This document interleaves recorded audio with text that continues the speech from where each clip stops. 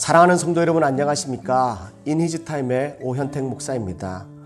오늘 사랑하는 성도님들과 함께 은혜 받을 은혜의 광장 내가 먼저 마음을 열면 이라고 하는 57면에 있는 글을 읽으며 함께 은혜를 나누고자 합니다. 내가 먼저 마음을 열면 우리는 우리 스스로를 가둬놓고 살고 있습니다. 서로를 못 믿으니까 마음의 문을 꼭꼭 걸어 잠그고 스스로 감옥에 갇혀 살고 있습니다.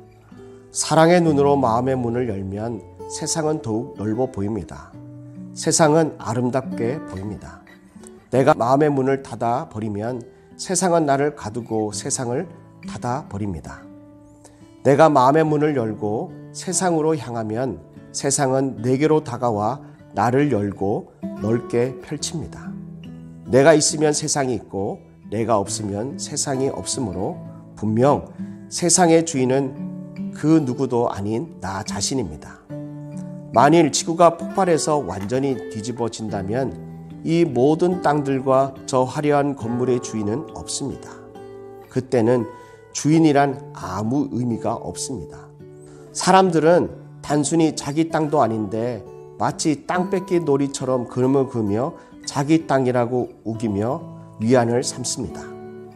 무엇보다 소중한 건 우리가 존재하고 있다는 사실이며 우리의 몸속에 영혼이 숨쉬고 있다는 것입니다. 우리는 지금 무슨 일을 하고 있나요? 우리는 지금 누구를 만나고 있나요? 나보다 더 강한 사람에게, 나보다 더 나은 사람에게만 관심을 가지고 있지는 않나요?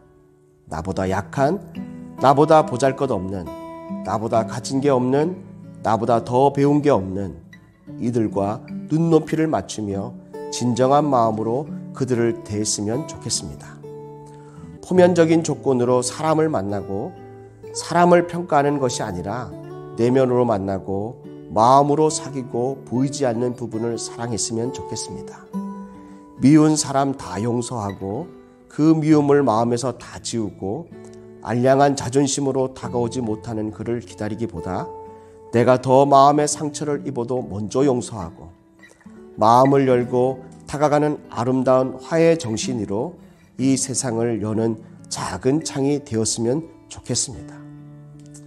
우리 성도님들도 오늘 이 남은 하루 서로 가족을 향해서 마음의 문을 활짝 열고 한번 대화해 보지 않으시겠습니까?